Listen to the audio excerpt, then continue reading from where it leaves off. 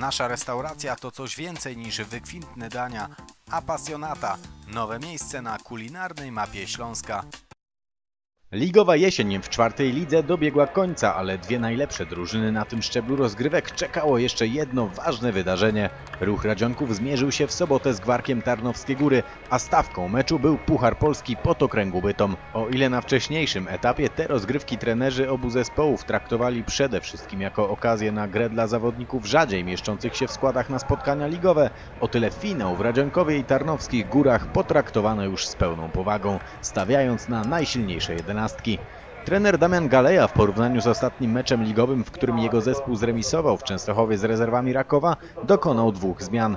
Między słupkami Bartosza Kucharskiego zastąpił Rafał Strzelczyk, a na środek obrony zakontuzjowanego Andrzeja Puchcika wskoczył Łukasz Dębski. Również Krzysztof Górecko posłał w bój optymalną jedenastkę, która tylko dwoma nazwiskami różniła się od zespołu, jaki zwyciężył z Konkordią w Knurowie. Początek spotkania był dość wyrównany, a pierwsze uderzenie na bramkę przeciwnika oddali gracze Gwarka Tarnowskie Góry. Z daleka próbował strzelać Marcin Rosiński. W odpowiedzi Patryk Cepek posłał piłkę na połowę przeciwnika. Tam w okolicach pola karnego Gwarka był Robert Wojsyk. Nie oddał strzału, próbował wykładać do nadbiegających kolegów, ale żaden z nich nie doszedł do piłki. I jeszcze jedna próba Radzionkowian. Marcin Dziewulski zagrał do Patryka Cepka. Cepek poradził sobie z Bartłomiejem Cymerysem, a potem strzelił za szesnastki. Piłka przeleciała obok słupka bramki Gwarka. Kolejne minuty należały jednak do gości Starnowskich Gór. Najpierw w polu karnym czysto interweniował Marcin Dziewulski, wybijając piłkę spod nóg e, Rosińskiego. Piłka trafiła do Dawida Hewlika, następnie do Marka Kasprzyka. E, Wreszcie z za pola karnego wrzucał Patryk Timochina, a w dobrej sytuacji znalazł się Rosiński, któremu ofiarnym wślizgiem przeszkodził Łukasz Dębski. Gwarek miał rzut rożny, po wrzutce z stałego fragmentu gry Bartłomiej Cymerys zgrał pod nogi Dawida Jarki, ten uderzył mocno, ale na szczęście dla Cidrów obok słupka bramki ruchu. Coraz płynniej przedostawali się z piłką w okolice pola karnego ruchu gracze Starnowskich Gór. Sławomir Pach podał do Rosińskiego, ten uderzył mocno i znowu o szczęściu mogli mówić Radzionkowianie. 17 minuta meczu. Sławomir Pach dostał piłkę na połowie ruchu Radzionków, a później niespecjalnie niepokojony przez graczy Cidrów podbiegł pod pole karne, uderzył, trafił w spojenie słupka z poprzeczką. Ruch przetrwał ten trwający jakiś kwadrans okres naporu w wykonaniu Tarnogórzan, a później sam przeszedł do ataku. 29 minuta, Marcin Czcionka faulowany w okolicach pola karnego, wrzucał z rzutu wolnego Piotr Rocki, powalczył o piłkę Banaś i Dębski, wreszcie Kamil Banaś uderzył na bramkę Mateusza Rosoła, ale ten ze złapaniem piłki problemów nie miał najmniejszych. Kilka minut później Ruchy znowu był z piłką na połowie przeciwnika. Z daleka próbował strzelać Marcin Dziewulski, ale dał okazję do kontrataku drużynie Gwarka Tornowskie Góry. Rosiński podał do Sławomira Pacha. Pach popędził na bramkę Ruchu Radzionków. Próbował powstrzymywać go Tomasz Dyr. Pach odegrał piętą do Dawida Hewlika. Jego uderzenie obronił Rafał Strzelczyk.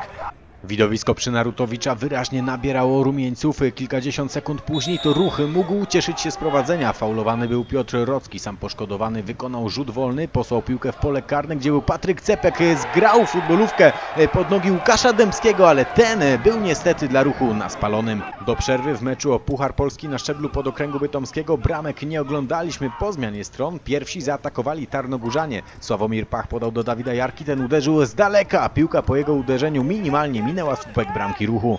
Ale to ruchy był po zmianie strony zespołem aktywniejszym. To 50 minuta. Marcin Dziewulski podał do Piotra Rockiego. Rocki zagrał w pole karne przeciwnika, gdzie był Robert Wojsyk. Napastnik Cidrów zdołał utrzymać się przy piłce, potem zagrał na dalszy słupek. Zamykał to wszystko Patryk Cepek, ale jego uderzenie na linii bramkowej obronił rezerwowy bramkarz Gwarka Grzegorz Homel. Dwie minuty później jeszcze raz zaatakowali gospodarze. Znowu zaczęło się od podania Marcina Dziewulskiego, który wypatrzył Roberta Wojsyka. Ten zszedł najpierw do prawej strony boiska, ale później wrócił w okolice środka pola karnego. Uderzył ze szwajcarską precyzją. Piłka tuż przy słupku wtoczyła się do bramki Gwarka Tarnowskiej Góry i ruch Radzionków od 52 minuty prowadził z Tarnogórzanami 1 do 0. Teraz to gospodarze mieli okres wyraźnej dominacji na boisku i oni ten okres wykorzystali tak jak mogli najlepiej. Przerwana akcja Sławomira Pacha przez Tomasza Dyra i Marcina Dziewulskiego. Rocki podał do Wojsyka, Wojsyk do Dziewulskiego. Piłka wraca pod nogi napastnika żółto-czarnych. Zdobywca pierwszego gola dośrodkowuje w pole karne. Szukał tam podaniem kolegów, ale ręką przeszkodził mu Adam Dzido, a sędzia bez żadnych wątpliwości wskazał na rzut karny. Nie protestowali specjalnie piłkarze Starnowskich Gór, a do jedenastki podszedł tradycyjnie tradycyjnie już w takich sytuacjach Marcin Dziewulski uderzył bardzo pewnie i ruch od 63 minuty prowadził już z Gwarkiem różnicą dwóch trafień. Ale Cidry musiały uważać, bo Gwarek już raz w meczu ligowym dwubramkową stratę do ruchu zdołał odrobić. Wtedy wygrał z żółto-czarnymi. Teraz to gospodarze mieli okazję na gola numer 3. Wzorowo wyprowadzona w tej początkowej fazie kontra Cidrów. Amadeusz Zając próbował podawać do Roberta Wojsyka. Na chwilę zatrzymała się ta akcja Radzionkowian, ale jeszcze raz Zając do Wojsyka. Wojsyk mija Homela, wypuszcza sobie piłkę jednak dość daleko. Jeszcze utrzymuje się przy piłce. Jeszcze były Szymon tutaj, nie trafił jednak czysto w futbolówkę. 10 minut do końca finałowego meczu przy Narutowicza. Pach dośrodkowuje w pole karne ruchu. Tam zupełnie niepilnowany był Bartosz Polis, ale przeniósł piłkę nad poprzeczką. 5 minut później w okolicach środkowej linii boiska rzut wolny mieli goście. Oni właśnie w taki sposób strzelali bramki w meczu ligowym przeciwko ruchowi. Teraz też mieli doskonałą okazję, ale kapitalnie spisał się w bramce Cidrów. Rafał Strzelczyk strzelał, Bartłomiej Cymerys. Jeszcze rzut rożny mieli Tarnogórzanie. Zostawiony bez opieki Sławomir Pach wrzucił w środek pola karnego. Tam był Marcin Dziewulski i zapanowało zresztą w 16 Cidrów spore zamieszanie. Marek Kasprzyk zagrał na dalszy słupek, znowu strzelał Cymerys i znowu piłkę złapał Strzelczyk. Dali się zepchnąć w tej końcówce do defensywy gracze ruchu Radzionkuwa. Gwarek miał kolejne okazje do tego, by zdobyć gola kontaktowego. Tutaj Sławomira Pacha wyprzedził wślizgiem Kamil Banaś. Ruch czekał na okazję z kontry i taka nadarzyła się w 87 minucie. Piotr Rocki dostał piłkę na połowie przeciwnika, zagrał na prawo do nadbiegającego Patryka Cepka. Cepek popędził w szesnastkę gości, uderzył, ale jego strzał obronił Homel.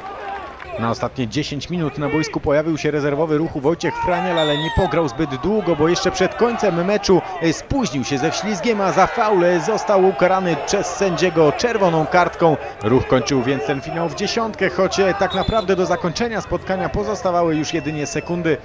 Gwarek miał jeszcze jeden rzut wolny, po którym znowu spore zamieszanie zapanowało w 16 Cidrów. Wreszcie piłka wylądowała pod nogami Bartosza Polisa, a ten w czystej sytuacji trafił tylko w słupek bramki ruchu.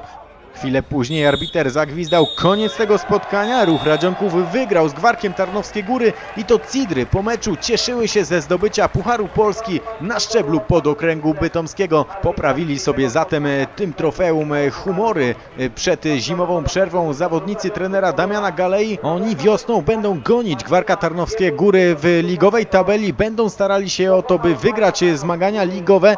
No a tym meczem z Gwarkiem pokazali, że stać ich na to, by siedmiopunktową stratę do rywala z zamiedzy odrobić i grać w przyszłym roku o awans do trzeciej ligi.